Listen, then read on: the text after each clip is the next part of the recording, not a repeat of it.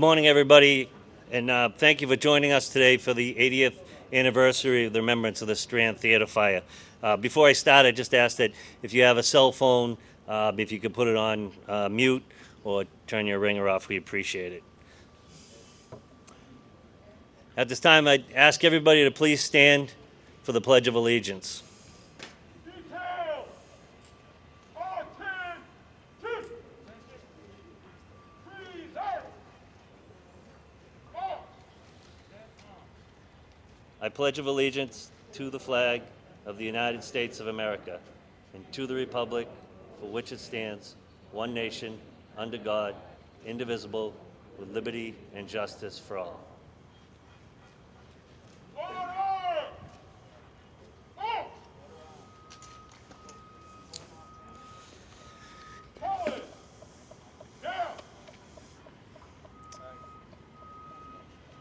At this time, I'd like to ask Reverend McCoy to come to the podium for the opening prayer.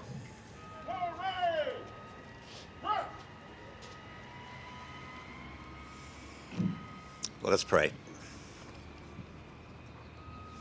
Good and gracious God, we know full well that life is precious. And so we give thanks for those who endeavor to protect life and preserve it. We give thanks, O Lord, for the brave men who gave their lives in the night of the Strand fire. We give thanks for their courage and compassion. We give thanks for their witness to your great love for us and the lives of people, regardless of their status, their race, or circumstance. Lord, for all of these, we give you thanks. May we ourselves be courageous and compassionate in our work, whatever it may be, and serve you well so to honor them. Keep us safe and dutiful in our efforts to protect and preserve life in our day, we pray. Bless the sacrifice of these men and all the women and men who serve you now. Bless our fire and police departments. Bless all of our first responders and their families, public officials, and those who support and work with us for the common good and your intention, Lord, that we may prove faithful to your wisdom and your way. All this we ask as we gather here in your holy name. Amen.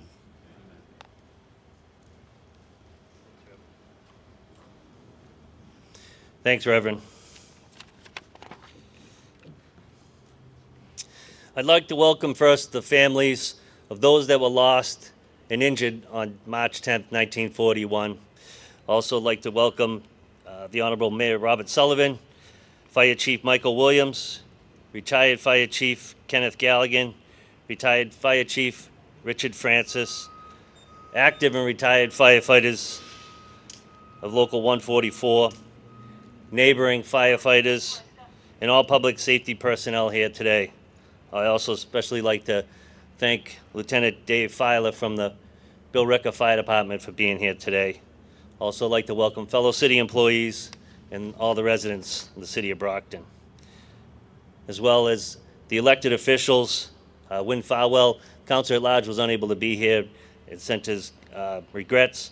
Uh, I'd like to thank uh, Councilor at Moses Rodriguez, uh, and if I miss somebody, I apologize. Uh, Susan Nicastro from Ward 4, Jack Lally from Ward 6, Councilor Shirley Asack from Ward 7. Uh, I know Senator Mike Brady sent a representative. Also like to thank Representative Claire Cronin, Representative Michelle Dubois, and Representative Jerry Cassidy for being here. Uh, other elected officials that also are in attendance that I recognize today, Greg Hanley from the Plymouth County Commissioner, uh, and John Buckley, the Plymouth County Registrar of Deeds. Um, if I forgot somebody, I apologize, and I'll make it up to you with a payment of under $50. At this time, I'd like to invite the Honorable Mayor Robert Sullivan to speak.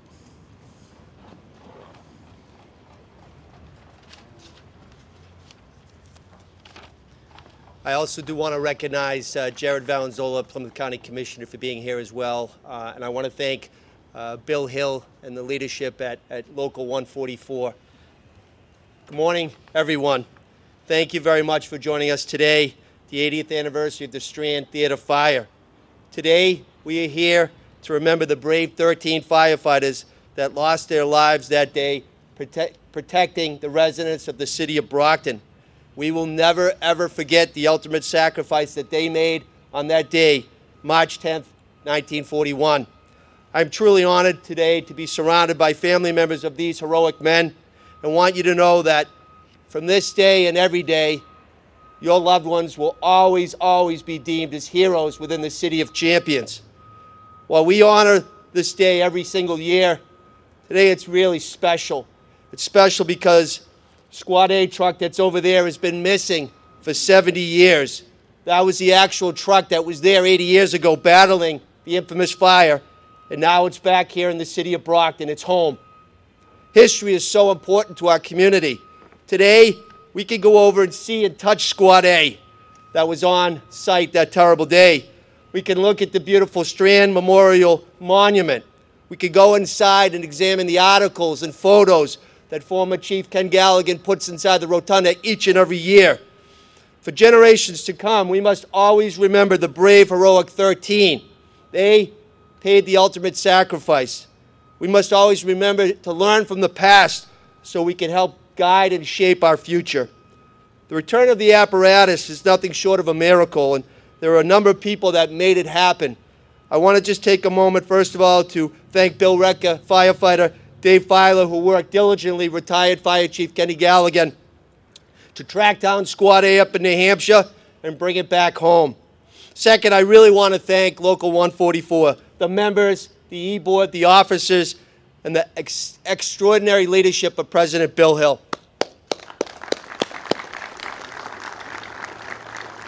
Without the collaboration of the firefighters in the union, obtaining the truck wouldn't have happened. They will continue the efforts through restoration and find a, a location here in the city that will be a living monument. Last but certainly never least, I want to just take a moment to really reach out to the, the family of the Brave 13 and just thank you for being here. You're here every year, but this year it's just extra special. I want to thank you as the mayor, but as a Brocktonian. Thank you and God bless you. One last thing I'd like to say is every single day we have wonderful, dedicated public safety employees. They protect and serve every single day. They put their lives on the line. They leave their homes and they do their job and they do it well. But also, it's been heightened this year because of the pandemic, because of COVID 19. They really, really are extraordinary members of their respective departments, and I want to thank each and every one of you. So, as I conclude, I just want to say thank you very much for being here today. God bless our Brockton firefighters. God bless the Brave 13. God bless the City of Champions. Thank you. Be safe. Be well.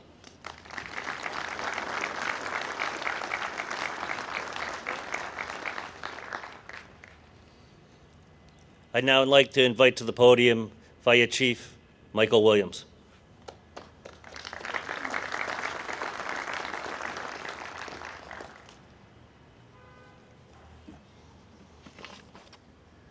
Good morning.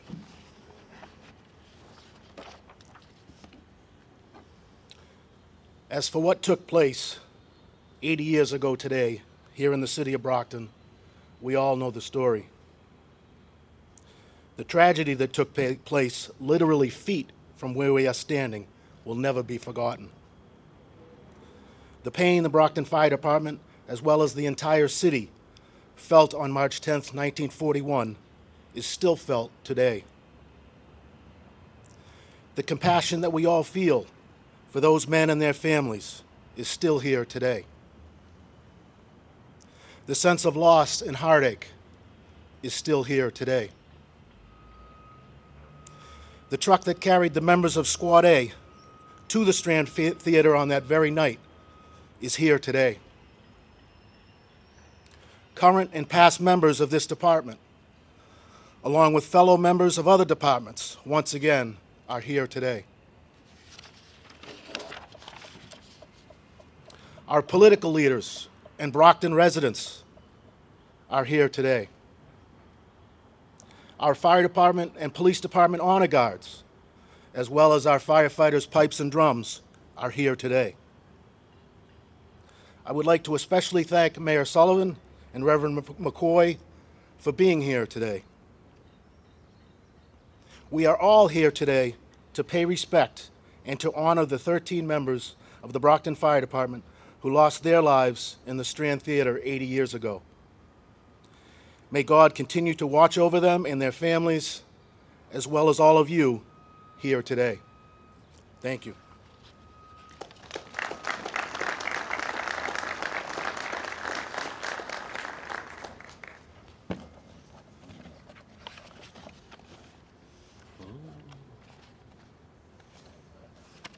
Thank you, Chief Williams.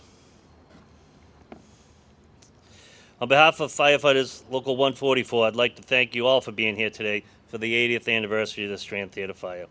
As we all know, this fire claimed the lives of 13 firefighters and more than two dozen that were severely injured, both physically and mentally. As we do for all our brothers and sisters in the fire service who pay the ultimate sacrifice in the line of duty, we take time to remember them. We never forget. On this date, each and every year, we remember the 13 who were killed, as the chief stated and the mayor explained, only feet away. The Strand Theater, for those that don't have a relation to it from the pictures, was actually right over by that grassy knoll. And if I'm incorrect, Chief Galligan will correct me, but it was in that general area.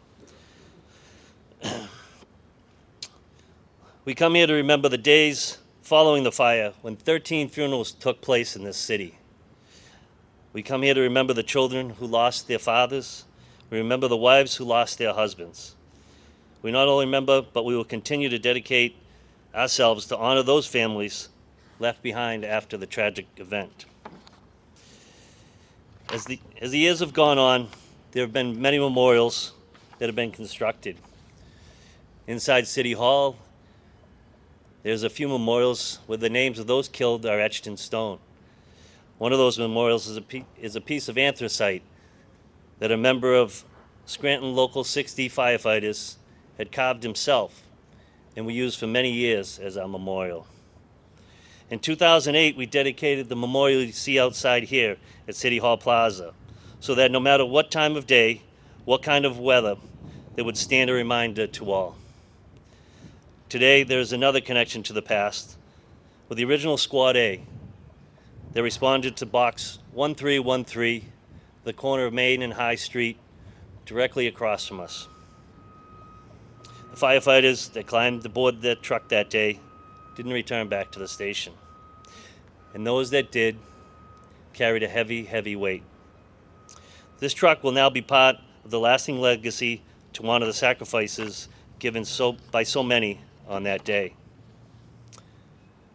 These memorials I discussed cross multiple generations. Each shares a story of how and why they arrived here. The one common theme they all share is that it was always accomplished by the many.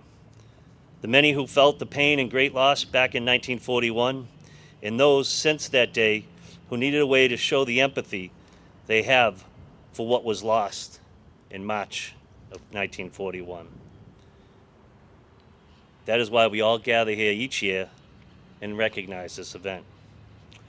We will always remember what happened here on this day in 1941 the dedication to duty, the dedication to one another, and the ultimate sacrifice that was given.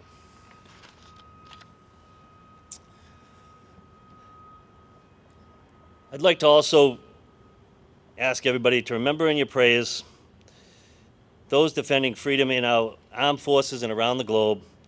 Also, remember our brothers and sister firefighters, police officers, and emergency personnel that are serving actively this day. And please remember those that have given the ultimate sacrifice when called upon and to never forget them. At this time, we will now take roll call.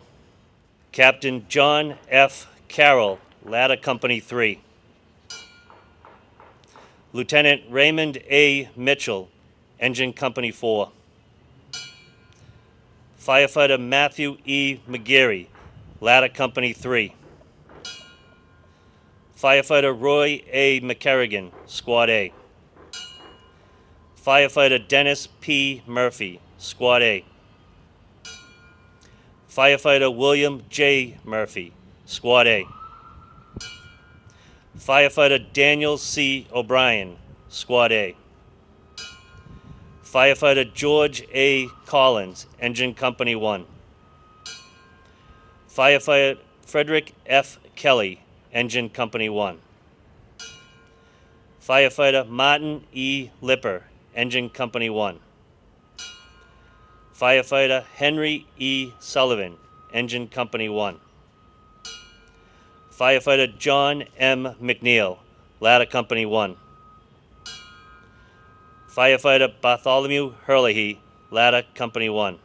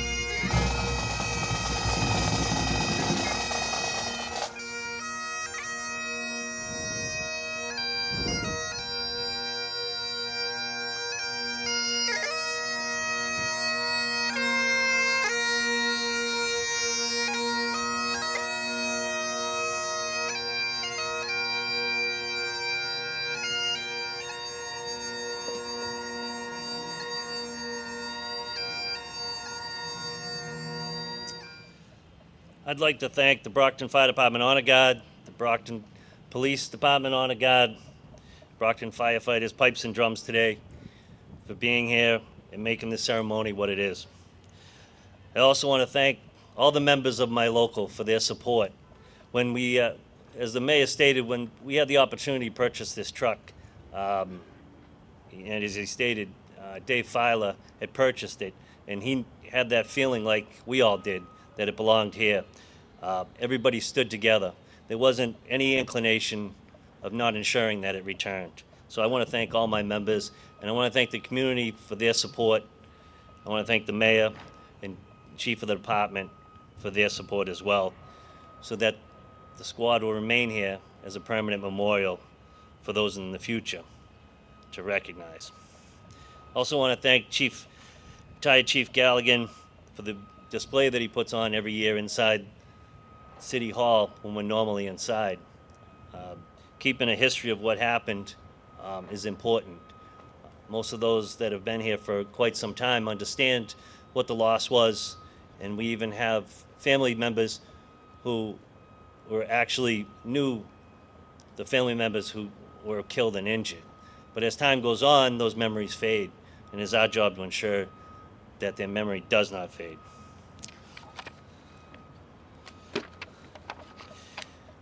Normally, we'd have a collation down at our Union Hall for the breakfast. That's another part of the ceremony that has developed over the years, but due to COVID 19, uh, we won't be having that this year. So I just wanted to let everybody know that unfortunately we won't be um, convening down there, but I'm pretty sure next year we will, and we'll, we'll make up for it. Uh, I do also want to recognize uh, the squad A will be here for a little while, so for those family members that haven't got a chance to um, uh, go over and, and look at the squad um, and be with the squad, there'll be time that it'll be here. I just ask that uh, nobody climb on it. It's, um, you know, obviously it's um, in a not perfect shape, but hopefully we'll get it in a better shape in the future. I do want to let you know it does run. Um, according to the history that we've been learning, uh, this truck has been running since um, it was delivered here back in the 20s. So uh, you know, kind of like that city of champion things. You, you can't put us down. So, um, with that, um, I'm going to have Reverend McCoy coming up for the closing prayer. And following the closing prayer, we'll do the ceremonial wreath laying. Thank you.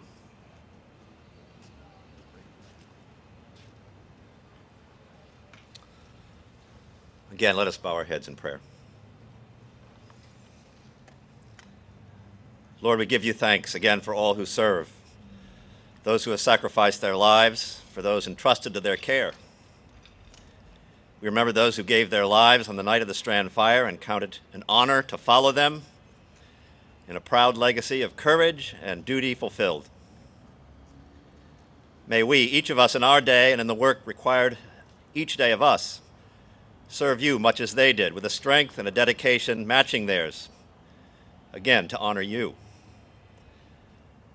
Lord, we pray that you would watch over all the men and women of our armed forces, defend them with your heavenly grace, strengthen them in their trials and temptations. Guide them, Lord, and remind them of your abiding presence. We ask this also for those who are first responders, law enforcement, firefighters, public officials, all who seek to do your will for the common good. Bless the families of those who are in support of all of these and more. Bless all those who work to do your will. Again, we ask this in your holy name. Amen.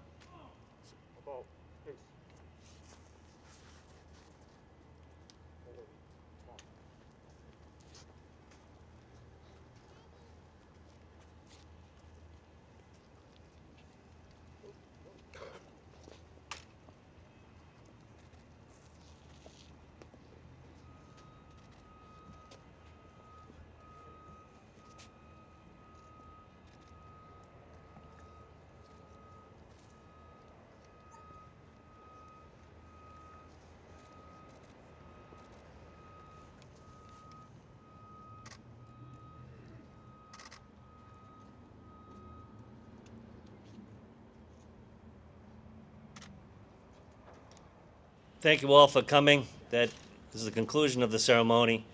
Firefighter Haywood, please dismiss uniform personnel.